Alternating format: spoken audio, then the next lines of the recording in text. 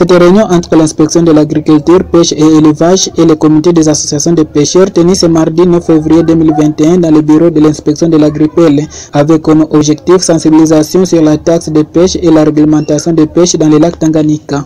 Au cours de cette réunion, l'inspecteur à l'intérim de l'agriculture a indiqué que la taxe de permis de pêche artisanale est passée de 20 dollars à 30 dollars pour cette année 2021, chose qui a été discutée par le comité des associations de pêcheurs, demandant au gouvernement provincial de revenir au même taux de l'année passée, de 20 dollars. L'année passée, c'était 20 dollars. C'est 2021. On a dit non. Ça devient 30 dollars. Nous voulons tout simplement demander au gouvernement que nous puissions rester avec le même 20 dollars comme l'année passée. Nous avons beaucoup de problèmes. C'était le catamaran 20 dollars, le filet 20 dollars, le ringnet 20 dollars, la pêche de Kanatoka, on a dit c'est 5 dollars. Nous acceptons. Mais maintenant, ça devient 40 dollars. Que le pêcheur paye 40 dollars. Où est-ce qu'il va trouver? De son côté, Kibimbi Ngoy Alex, l'inspecteur à l'intérim de l'agriculture, a dit La province augmente un peu sur cette taxe de l'année passée, sur C. Il réclame demandant qu'on puisse baisser sur les taux qu'ils ont fixés de 30 dollars.